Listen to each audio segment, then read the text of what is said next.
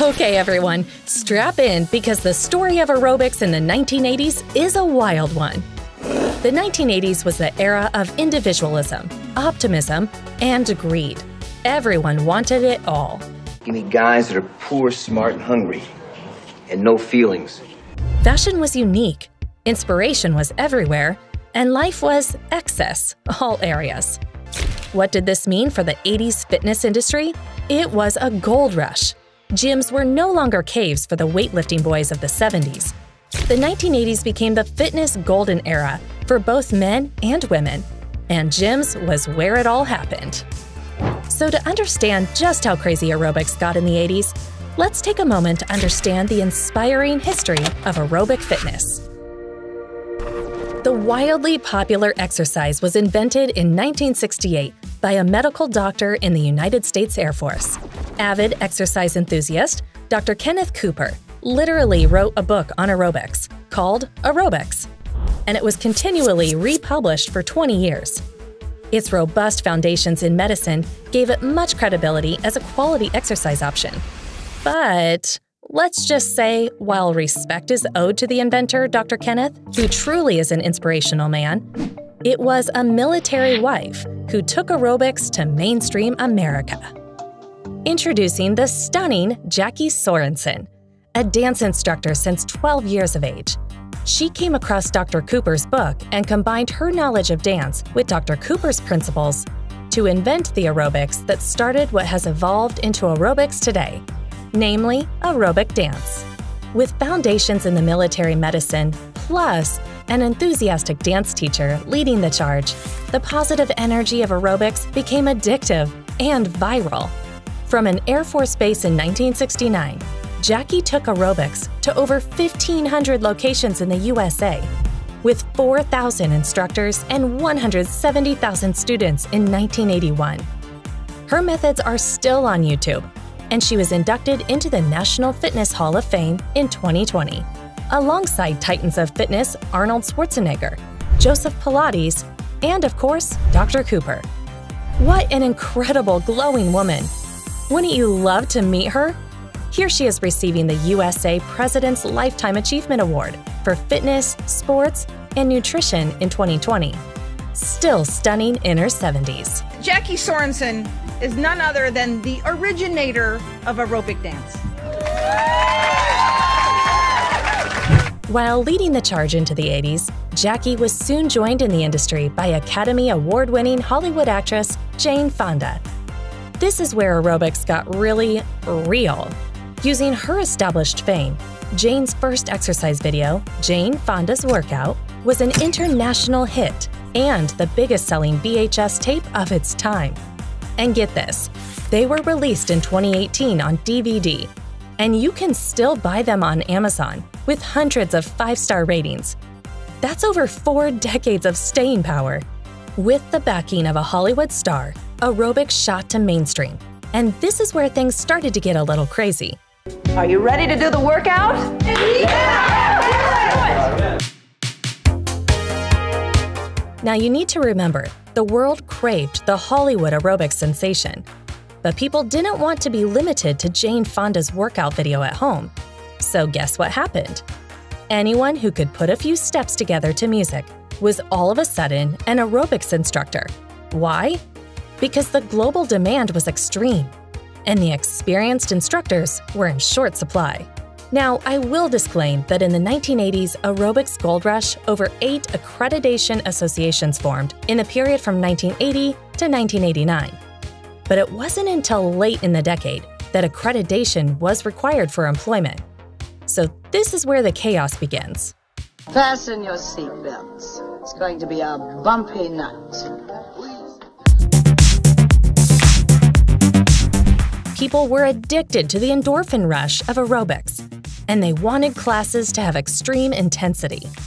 So, for the instructor to fill their class, the classes were incorporating more and more extreme high risk sequences.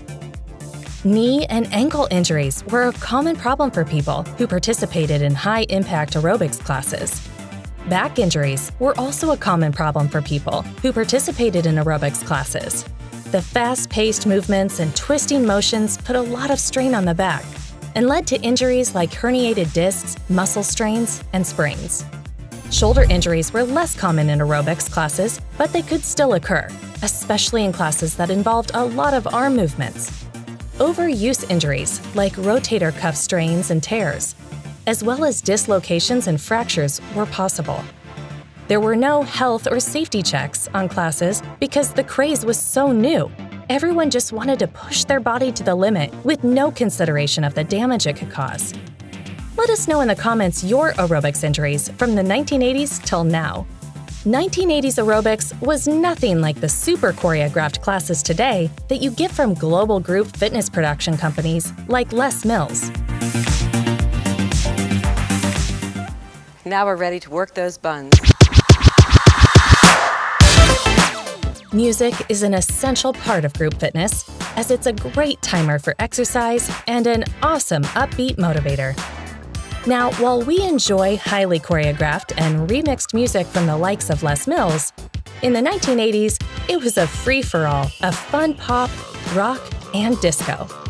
Here are some of the most memorable tracks from the aerobics floor in the 1980s Physical by Olivia Newton John, Flashdance by Irene Cara, I'm So Excited by the Pointer Sisters, Wake Me Up Before You Go Go by Wham, Material Girl by Madonna, Jump by Pointer Sisters, White Wedding by Billy Idol, Just Can't Get Enough by Depeche Mode. With demand for aerobics gone wild, some gyms went full nefarious mode, trying every tactic to exploit naive gym goers. With high demand, gym membership salespeople pressured new people with max member limits and four year contracts with huge calculations. On top of this, people would think classes were included in membership, only to find out that they had to pay for them on top of the membership fee. Thankfully, it's super rare any gym could get away with this today. Call out any gyms you know still causing grief with memberships in the comments below. As we said earlier, the 80s was fashion and excess all areas. However, without the compression activewear we have today, there was no room to hide any body excess in the attire worn in the high-intensity aerobics classes of the 80s. Pressure was high, and the fashion was unforgiving. For the ladies, it was all about the leotards. For high-intensity classes, high-cut legs and low-cut backs was the norm, but also had some long sleeves and high necklines. It looked like some even had shoulder pads. Of course, sweatbands on the wrists and forehead with big hair were mandatory for the fashion conscious. For men, bright colors on top, whether it's a muscle shirt, tank top, or t shirt and contrasting shorts. To accompany mullet style haircuts, again, wrist and headbands were there for the sweat and the looks. If only YouTube would allow pics to post in comments. We'd ask you to post any fashionable pics you have from this era. Saving the scandalous for last, with so much pressure and demand on instructors to perform so many classes a week and to provide even more intense classes, there was only so much healthy eating and sleep can offer to help instructors recover. Apart from innovations like the Vibrosaun to help recovery, amphetamines were traded in controversy by a small number of aerobics instructors who were at the extreme end of performance. This included Dexedrine, Adderall, and Ritalin which are still used by society today. While classes these days are safer and more tame, stories will still pop up now and then of instructors getting caught using or selling stimulants in gyms. In summary, there was no other era of fitness like 80s aerobics. Super creative, community building with an extreme level of fitness. We hope you enjoyed this video.